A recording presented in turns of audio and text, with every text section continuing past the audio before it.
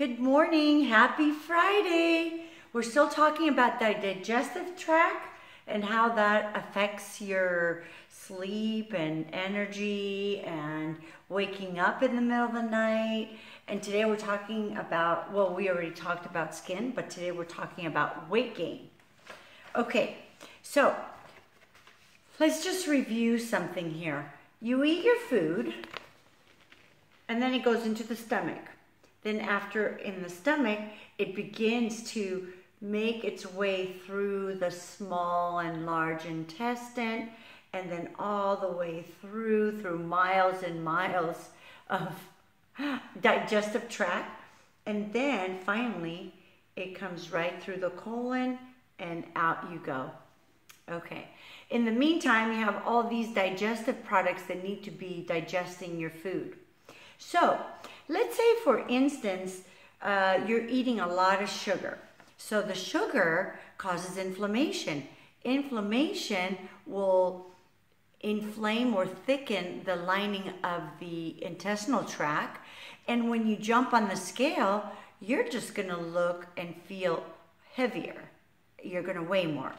The other thing is, is the bloat. Sometimes you can weigh less weight, but then you feel so bloated and so big. It doesn't matter what the scale says, right? So that's how you could be gaining weight. Now, um, what other things could affect weight gain? For sure, the wrong foods you eat, too many calories going in, need to be less, if you want to lose weight, less than the amount of calories going out. If you're trying to maintain, then, you know, just keep it equal. The other thing is, and I get, oh my goodness, I get this question all the time on my ketone strips. Let me tell you this. Let's say, for instance, you are on a high protein diet and you're not eating carbohydrates and you're doing pristine job on this, but yet you're not showing any ketosis. So, what could be wrong with that? What could be wrong with that is the fact that you might be eating too often during the day. And the amount of uh, sugar or actually glucose that's stored as stored energy in your liver or in your muscles is always replenished. So, why would you be breaking down fat? It doesn't matter. So, if you eat too much, if you're eating too often, if you're eating the wrong foods, a calorie is not worth a calorie. I'm only having a hundred, uh, 1,200 calories, but I'm not losing weight. Well, maybe the food you're eating is the food that doesn't work with you. Do you also know that um, there's another problem with that?